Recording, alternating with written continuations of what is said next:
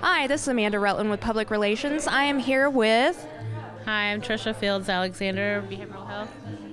and today they are doing the self love party. Trisha, why don't you tell us a little bit about what's going on today? Um, yes, today, uh, yesterday was the International um, Self Love Day. It's an actual day, and so our behavioral health offices wanted to incorporate that into the tribe and our community. So, what self love is, it has five dimensions physical, uh, intellectual, social, spiritual, and emotional. And so, we have the five different stations here today that incorporate all of those aspects. Um, we have everything from um, doing some artwork here, which is stress therapy. Um, we have some healthy foods here with our snacks, the vegetables, fruits, some smoothies.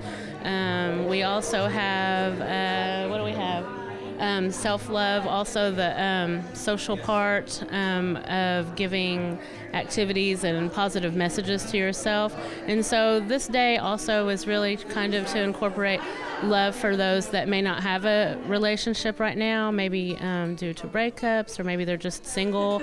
Maybe also they could be widowers. Um, so we just wanted to give that love to those in the community that might need a little extra love. And everybody needs love, um, friendship. So that's what we're doing today. Wow, I don't think I have any other questions. Thanks, Trish. Thank you.